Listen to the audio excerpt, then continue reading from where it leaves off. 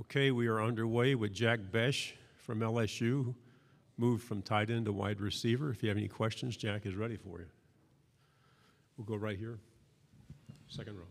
Hi, Jake. Uh, I just wanted to, Tyler Shaw from KBTX and College Station. I just wanted to ask about Brian Kelly, how the team is adjusting, and you know just how he fits here in, in his first year at LSU.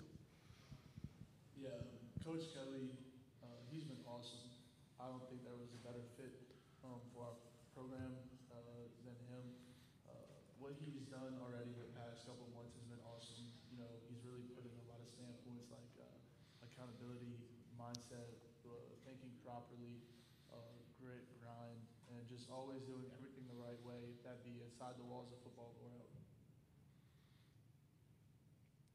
Second row on the left, please.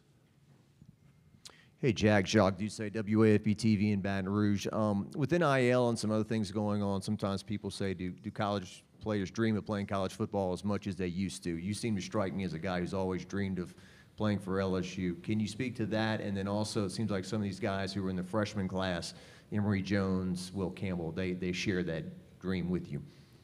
Uh, definitely. Being from the state of Louisiana, uh, growing up a LSU fan, Saturdays were always devoted in the fall for watching LSU, whether that be in Baton Rouge or back in Lafayette, where I'm from.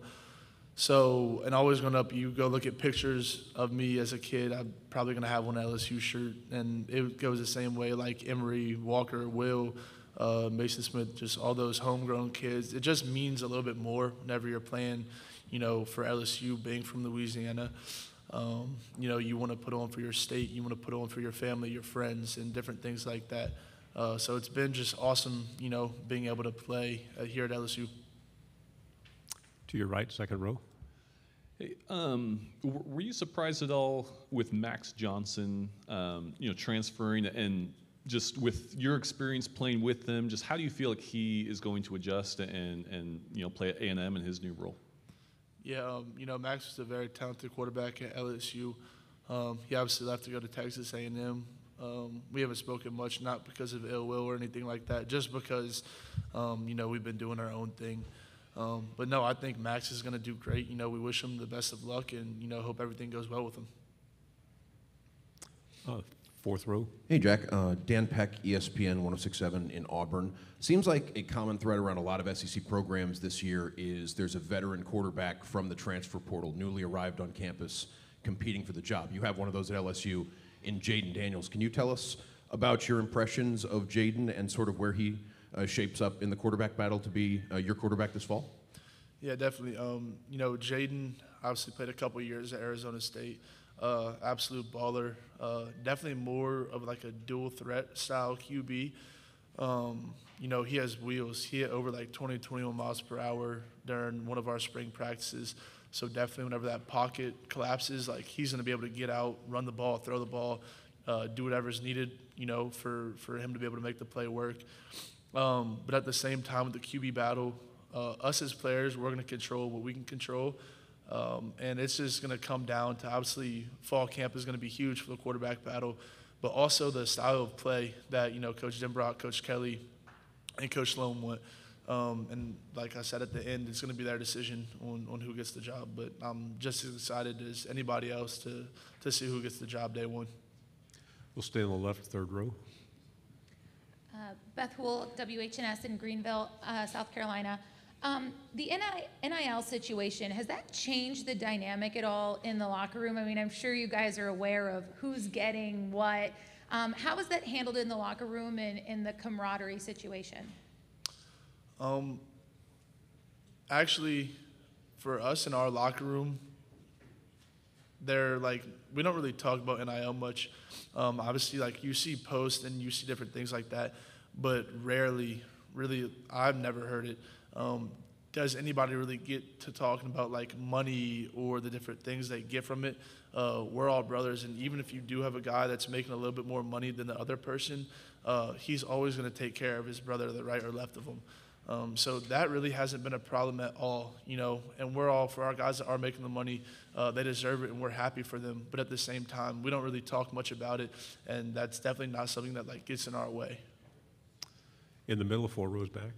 Chesson Boucher with WVLA in Baton Rouge. Jack, you were there for Coach O last season. This year, you have Brian Kelly, who is people consider him more of a CEO. Have you seen kind of the transition from that? Yeah, uh, first I just want to say, without Coach O, uh, I wouldn't have had the opportunity to play here at LSU. So definitely, like, all my thanks to him. But yeah, Coach Kelly, uh, he does everything very specifically. He's like he's moving chess pieces. Um, everything he does, he does it for a purpose, um, and he knows that once he does one thing, he know what the outcome is going to lead to. So yeah, definitely very strategic in everything he does. Um, just like the staff he put together. Like there wasn't one coach he just got to fill the spot. It was a very like strategic move, and he knew what he wanted and what he was going to get out of those coaches once they got here. Fifth row on the left. Hey, Jack, Dan Peck again from ESPN 1067. Uh, what else can you what can you tell us about the receivers room at, at LSU this year? I know uh, Kayshon deciding to stay is a uh, is, is, is huge for you guys, and uh, it's it's a uh, it's a team that is usually talented at that position. Uh, what, what can you tell us about uh, your your position mates at wide receiver this year? Yeah, our wide receiver room is stacked, and we're headed by one of the best wide receiver coaches in college football, with that being Coach Hankton and Coach Carter. Yeah, our wide receiver room, you know, you could put on a blindfold, put all the names in the hat, pick a name out the hat, and you know that's in a, that person is destined to go off. There's nobody in that room that's even close to being just average. Everybody in that room is a very good football player, a very good athlete, uh, route runner, uh, and then on the mental side, knowing the defenses and everything like that. But what I think is going to elevate us is, like I said, is our coaches. Um, Coach Hank, he started so much about on the field uh, things, obviously, but also about just off the field stuff, just how to be a man and how to take accountability for all the decisions you make, even if it might not be a good one. Um, you know, just to take accountability for it and to learn from your mistakes. Right here in the middle, fourth row again. You brought up Coach Hankton. I know it's only been a few months with him, but aside from the off the field stuff, kind of what have you learned from him so far?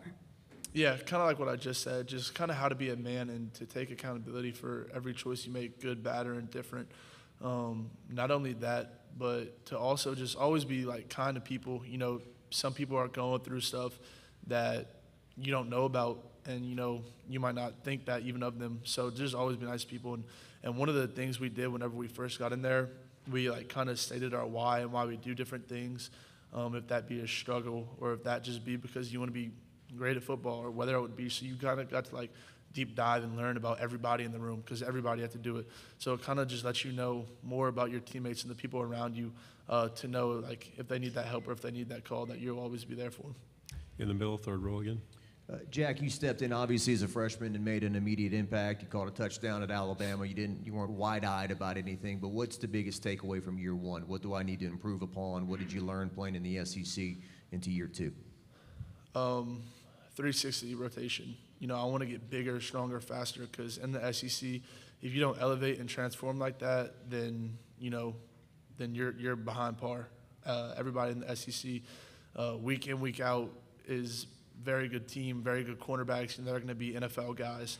So you know, you're always going against kids, or not kids, against men that you're going to see now, and if you make it to the league, that you're going to see in the league. So you know, you always have to be on top of your game. You always have to be elevating, um, whether that be in season, off season.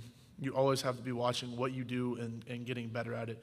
Um, because if not, like I said, you're going to be behind. So you always have to stay on top of the ball and on top of your game. Final two questions first. Rob Brown, Sidelines.live in sports radio in Memphis. How relieved are you to get to actually play a damn football game and quit talking about the portal and NIL, especially playing a name like Florida State in the Superdome? Because we've got a LSU Tiger for Life, Frank Duffy, on with us a lot. Talks about, man, there's nothing like opening weekend, especially against a big name opponent. Yeah, and especially in New Orleans, uh, the city of New Orleans is going to be on fire. I mean, we're going to have as many fans inside the stadium as we are going to be outside. Um, no, especially a big venue like that. Um, it's it's going to be awesome. I'm very excited to pad up again and to start playing some more games and you know to see how all the hard work we've put in this offseason to see it transform and come into our gameplay. Final question here in the middle again.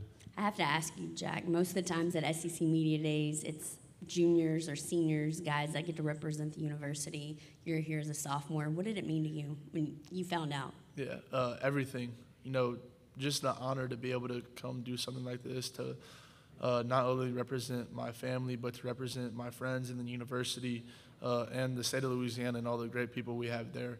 Uh, just truly an honor and a blessing. And uh, obviously, you know, I'm a Catholic, so, you know, I'm, I'm blessed. You know, without God, you know, I can't really do anything, but with Him, I can do all things. So, definitely just very honored and blessed to be able to partake in this event. Thank you, Jack. Good luck this year. Thank you.